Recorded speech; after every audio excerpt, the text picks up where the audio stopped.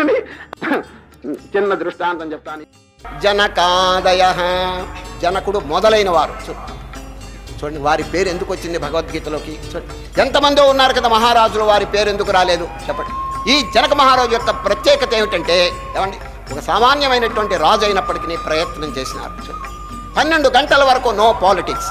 రాజకీయంలో ఏలు పెట్టడండి. పన్నెండు గంటలు అయిన తర్వాతే రాజకీయంలో ప్రవే. ఈ పన్నెండు గంటల లోపల ఏం చేస్తాడు తెలుసండి? ధ్యానము. జపము ఆరాధన ఆత్మవిచారణ శాస్త్ర పఠనం ఇవన్నీ గురుసేవ ఇవన్నీ చేస్తుంటాడు. చూచారు ఒక డిసిప్లిన్ ఒక క్రమశిక్షణ అనేది చక్కగా అలవాటు చేసినాడు. అందుచేతనే జనకునికి అంత గొప్ప పేరు వచ్చిందండి. కర్మణైవ హి సంసిద్ధిమాస్థిత జనకాదయ. లోక సంగ్రహమేవాపి సంపశ్యన్ కర్తుమర్హసి.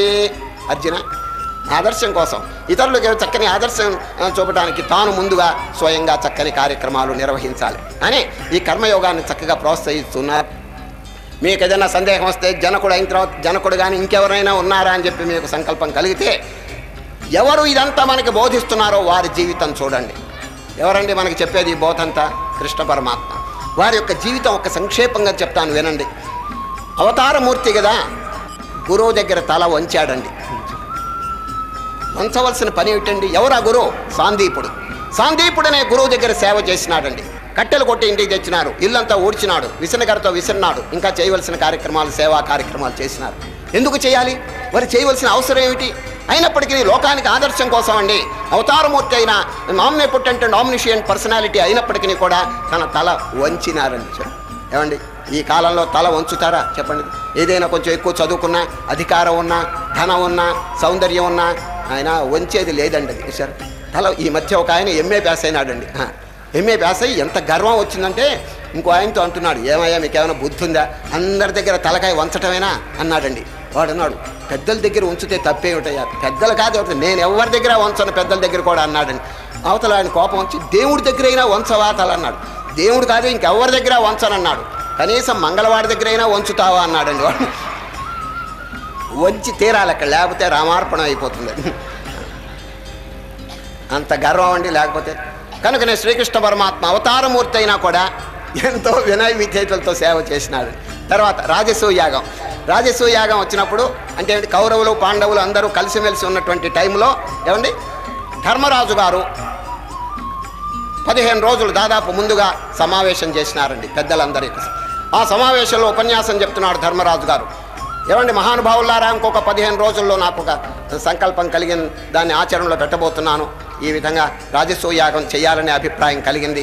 మీ అందరి యొక్క సహకారం మీ అందరి యొక్క సహయోగం సహాయం అవసరం అన్నా. వెంటనే ఒకరు లేచి మీకు మా మీరు మాకు డ్యూటీ ఇవ్వండి. మేము ఆ డ్యూటీ చక్కగా నెరవేరుస్తామని చెబితే ధర్మరాజు గారు ఒక్కొక్కరికి అక్కడ సమావేశమైన అందరికి ఒక్కొక్క డ్యూటీ చెప్పేశాడు. భీముడిని పిలిచి భీముడు భీమసేన డైనింగ్.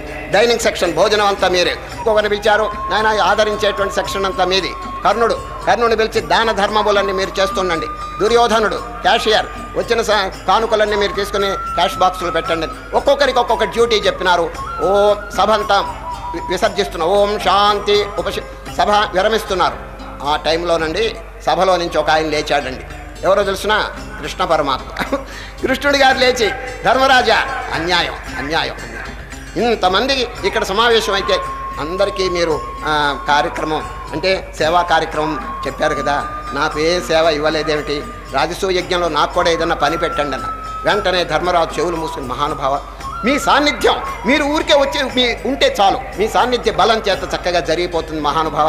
మీకు ఈ సేవ లేక ఒక కార్యక్రమం ఇచ్చే ధైర్యం కానీ ఆ, విధంగా ఇవ్వటం చాలా తప్పని చెప్పి మేము అనుకుంటున్నాం. ఎందుకంటే మహనీయులు మీరు మీకు చెప్పగలిగినటువంటి ఇదండి మాకు నేను సామాన్యులం మీరు అవతారమూర్తి అని ఈ విధంగా ధర్మద చెప్తుంటే నువ్వు ఆ వేదాంతం అంతా కట్టిపెట్టు. ఏదో ఒకటి అందరికీ మీరు డ్యూటీ ఇచ్చినారు మాకు డ్యూటీ ఇవ్వండి అని కృష్ణుడు అడిగితే ఇవ్వలేదండి. ధర్మరాజు గారు మౌనం వహించినారు. వెంటనే కృష్ణ పరమాత్మ సభాముఖంగా చెప్పాడండి. ఓ ధర్మరాజా మీరు గనక నాకు సేవా కార్యక్రమం ఇవ్వకపోతే నేనే ఒక సేవ తీసుకుంటాను ఒక పని. రాజసూయాగానికి వచ్చిన తపస్సు సంపన్నులు సాధు పొంగవలు యతివరేణ్యులు వారి యొక్క పాదములు కడిగి తీర్థం నెత్తిన చల్లుకుంటాను అన్నాడండి. ఎంత వండర్ చూడండి ఆశ్చర్యం. ఎంత వినయం. కేవలం omnipotent and omniscient personality కదా. అయినప్పటికీ నీ మహానుభావుల దగ్గర తల వంచి తీర్థం పాదముల యొక్క తీర్థం నెత్తిన చల్లుకుంటానంటే ఎంత ఆదర్శం చూడండి అది. ఇదేనండి కర్మయోగం యొక్క రహస్యం. పోని యుద్ధంలోకి వచ్చినాడు యుద్ధంలో ఏం చేసినాడు చెప్పండి కృష్ణ పరమాత్మ? సారథి. డ్రైవర్. డ్రైవర్గా కూర్చున్నాడే కానీ యజమానుడిగా కూర్చోలేదండి అది. అదొక విశేషం అండి. తర్వాత సాయంత్రం ఐదు ఆరు గంటల ఐదు గంటలైందంటే యుద్ధం విరమిస్తారు. అప్పుడు తన గుర్రాలన్నింటినీ కూడా నది దగ్గర తీసుకుపోయి గాయములు కడిగి వాటికి దానా పెట్టి మేత పెట్టి సేవ చేస్తుంటాడు. చూచారు? అనేక మంది సంధ్యావందనం చేస్తుంటే ఆ టైంలో శ్రీకృష్ణ పరమాత్మ ఈ కర్మయోగం చక్కగా ఆచరిస్తారండి. చూచారు?